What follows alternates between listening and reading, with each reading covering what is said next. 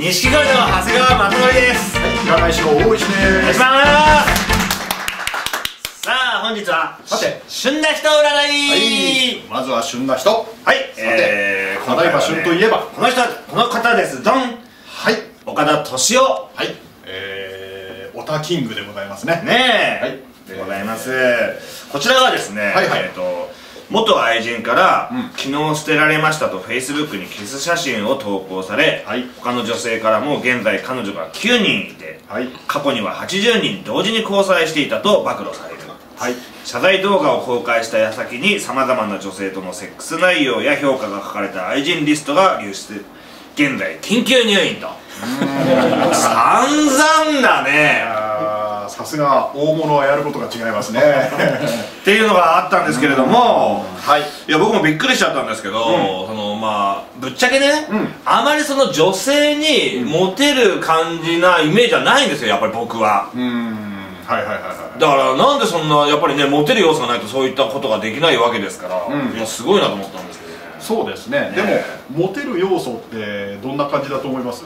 何いい男とか？そうですね。やっぱりその男前だったり、そのまあ女性に好感を持てる感じがやっぱりその僕のイメージだとね、うん。年齢もいってるわけですし、はいはいはいはい。っていうのがあってやっぱりそのオタクというかね、そうそういう方向だとあんまりそういうイメージもなかったんですけど、そんなことないですか？うん。まああのー女性にもほらいろいろいるじゃないですか、うん。で特にやっぱりオタキングってそのオタクの世界ではね、はい。もう無敵だよと、うん。まあ確かに。で言われていた人なんで、ええ。まあ、例えばそのオタク趣味みたいなことでうん。非常に気に入ってもう崇拝してる人もいるだろうしね。だからまあやっぱりモテる要素って、まあ、はいそのなんだ顔がいいとか、うん。そういうことだけではなくって、うんまるで岡田さんが顔良くないみたいじゃないですかね。いやいやいや。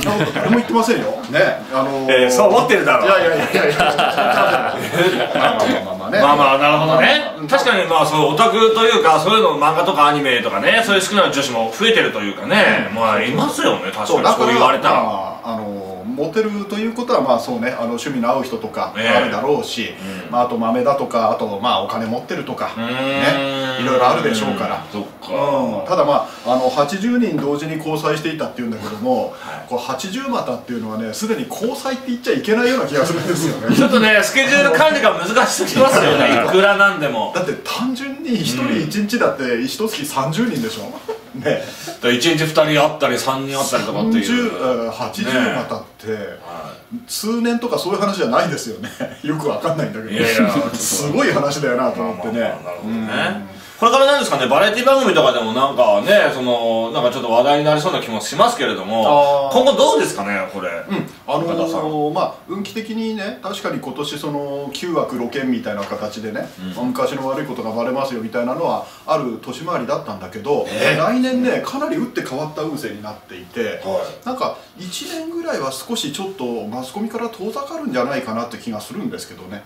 でね、あの再来年になるとまたあのいつもの調子で出てくると思うんだけど 1年ぐらい今年ぐらいはですね、あのどうもお遍路さんでもやってんじゃねえかなというようなね あの少しこう反省の色かなんか見せてんじゃないかなという気がするんですけどもね。うん。で逆にアドバイスするとしたらあんまりこうバラエティとか呼ばれてもうん。出ない方がいいと思います。そういう運気ではないのでええうんまあおとなしくしてた方がいいと今は。そうですね。あの首相なところを見せておいた方がいいんじゃないかなという気がしますけれどもね。なるほど、うん。じゃあ復活を待ちますか。そうですね。はい。はい。はい。わかりました。ありがとうございます。ありがとうございます。